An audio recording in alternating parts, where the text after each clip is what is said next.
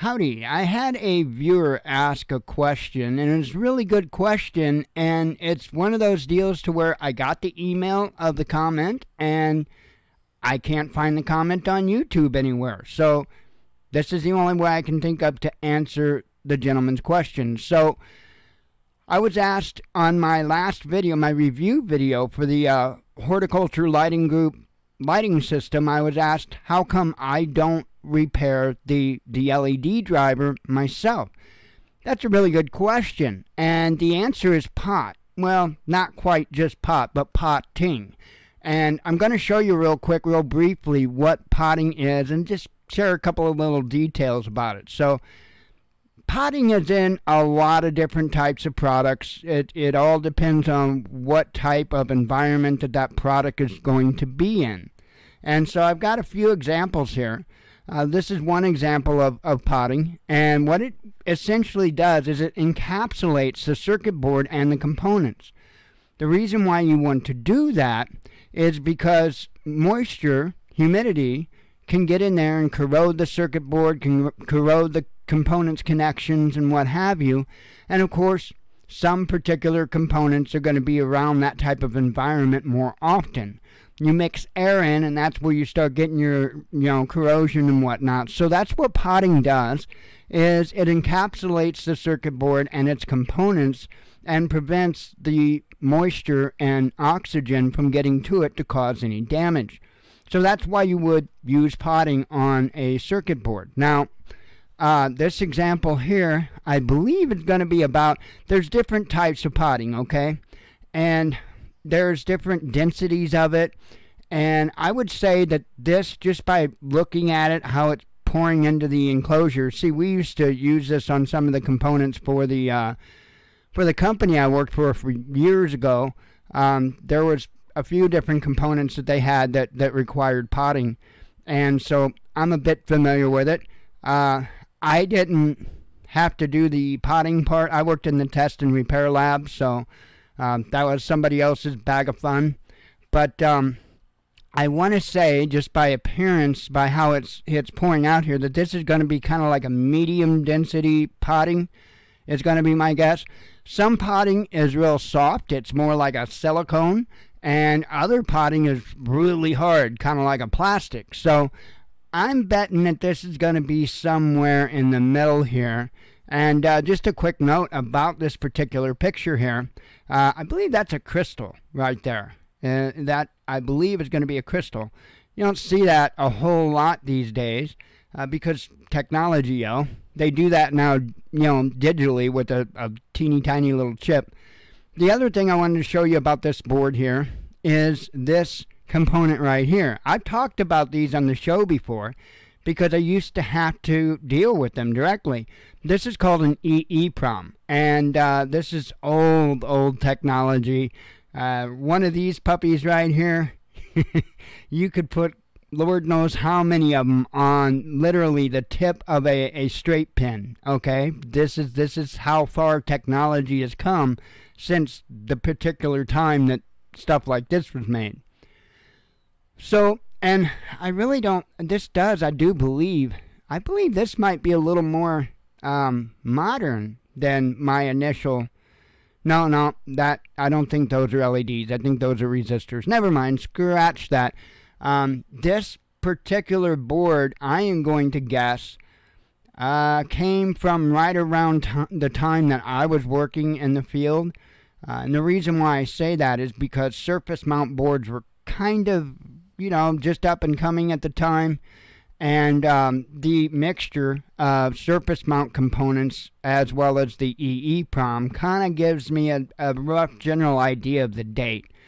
I, at, for a moment, I was thinking, are those surface mount LEDs? No, I believe that they're probably surface mount resistors, but I'm not 100% positive on that. So let me talk about this EEPROM and then we'll go on. Um, this EEPROM, I've talked about them before. I used to work on different components that required these. And the, the interesting thing about these is you see that little glass sight window there? This is a rewritable chip. And what you would do is before you program the chip, you take a, a sticker and you put over top of the chip and, of course, over the, the glass. And what that would do would be prevent light from getting in there because that is how you delete the information to rewrite it is you essentially just stick this under an ultraviolet light, UV light. In fact, you could just put it in under a fluorescent light and over a little bit of time it will erase it. And so that's why you have to put a sticker over top of it before you program it.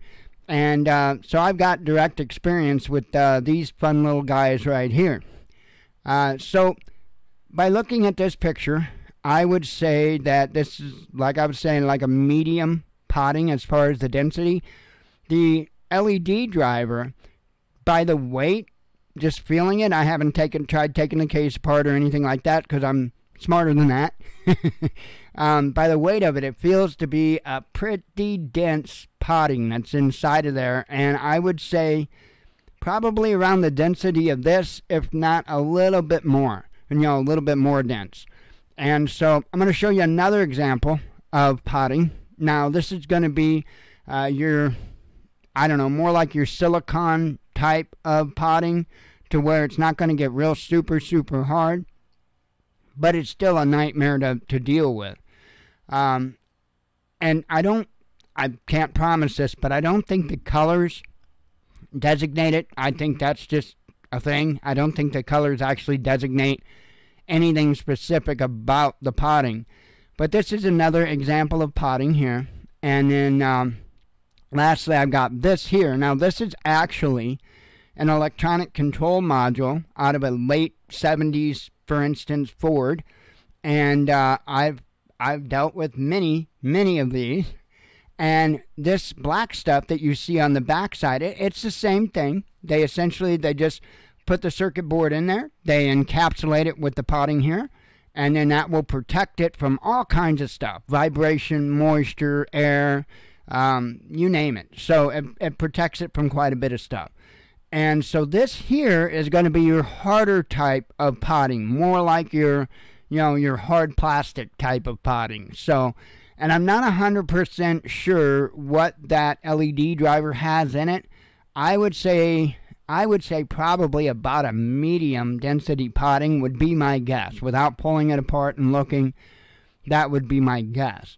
So the issue with that overall is when you try to or attempt to work on that board, you first have to get rid of all of that potting off of that board. Good luck. you can't use chemical strippers or anything like that to remove it because that's going to damage the board and components on it. So you can't use any type of a chemical remover or anything like that to take the potting off. And if you look around on the internet where people have gone through the trouble of digging potting out, uh, you'll see in many, many cases you will damage the board or components in the process of trying to get that potting out of there. Um, this stuff, for anybody that's ever had to deal with uh, the Cosmoline that comes on the older rifles and stuff like that, this stuff is even worse than Cosmoline. So anybody that's familiar with dealing with Cosmoline, then you'll, you'll yeah, that Cosmoline has nothing on on potting. So just just saying.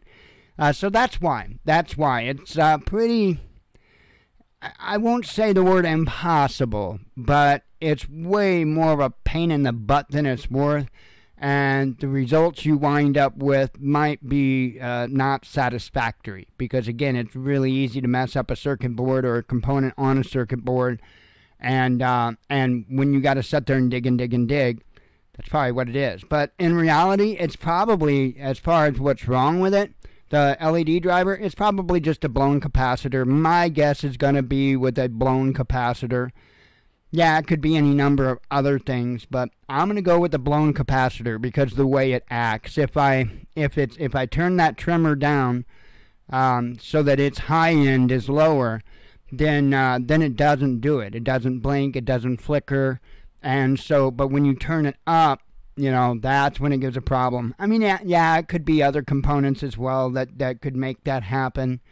But more often than not, from what I've seen, uh, it's probably a capacitor and it's just kind of one of those things so that's that's your answer that's why i didn't uh, try to repair that unit and uh, i'm not even gonna I'm not even tempted to try to repair that unit uh, because I don't have a headache and I don't really want one. So, anyway, uh, good question. Good question. Thanks for asking. I will talk to you all later. Shalom.